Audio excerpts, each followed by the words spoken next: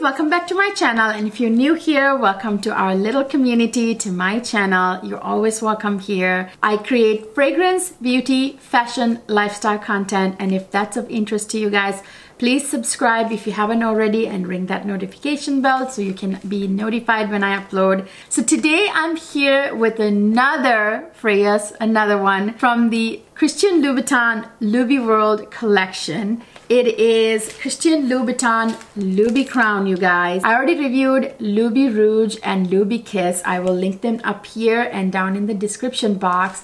You guys saw those reviews and this one is Loubicrown.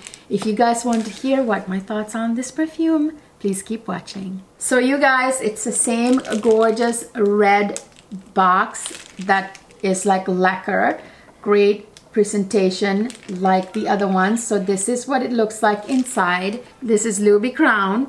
So it has that crown. Look at that gorgeous bottle. So as you guys know, it comes with a travel cap because of this ornate, gorgeous, very heavy cap. You, you know, if you want to travel with this perfume, that's what that for so that you don't damage this gorgeous ornate cap i mean look at that bottle you guys isn't that to die for I love the red jewels. Red is my favorite color. I just buy these perfumes. I would just buy these perfumes just for the bottles, you guys. But they're a pretty penny. They're expensive. Yes, but they, in my opinion, the ones I bought anyway, are so amazing. Look at this cap. I mean, there's red jewels in it and then those studs, the Christian Louboutin studs, the spiky studs, they are there around like a collar so you see this cap look at the detail the red detail inside it's a pretty hefty cap you guys which is why it comes with a travel cap in here so that you can travel with it like this and not damage your cap but I gotta be honest with you guys when we do go back to traveling I probably won't take this very heavy glass bottle with me. I would probably spray it into a decant and take that a travel spray. Um, but I'm, I am appreciative that it comes with a travel cap. So I bought this mainly before I got my nose on this. I blind bought this, by the way. Did I tell you that? But I'm glad I bought it. I will get to it here in a second. I bought it mainly for the presentation, for the bottle, you guys. I mean, I want to put this on my mirrored shelves above my vanity where I am keeping Loubirouge and Loubikiss. I just kind of want to collect them all, you guys, but they're, again, very expensive. Oh, guys, this is such a gorgeous perfume. In my opinion, it's a gorgeous tonka bean perfume. If you guys are interested in a very strong tonka bean perfume, this is the one for you guys. Tonka bean is that fragrance note that smells like vanilla, but only stronger.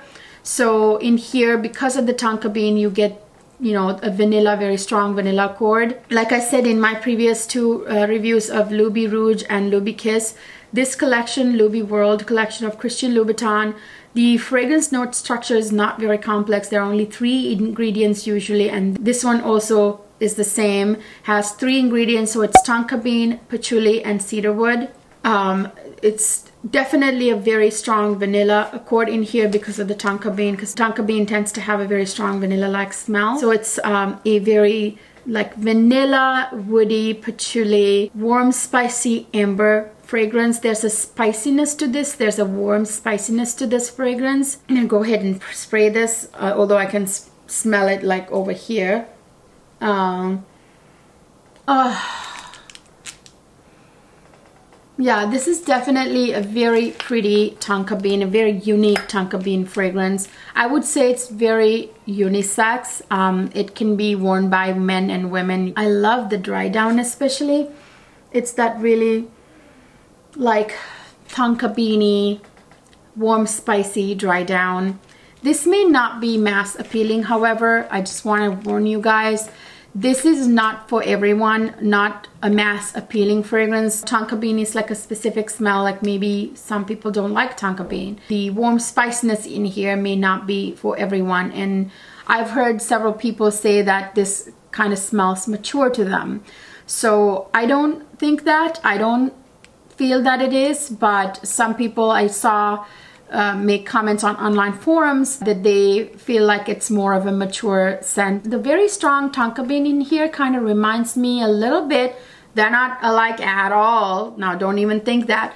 But the tonka bean specifically in here reminds me of the strong tonka bean that's in Fèves Délicieuses by Christian Dior, the, the Privé line, the private line. So it does, it is a very strong tonka bean, just like in Fèves Délicieuses. Just like Fèves Délicieuses isn't for everybody, it's not mass appealing, it's a very specific smell, very heavy tonka bean perfume, warm, spicy tonka bean perfume, just like that.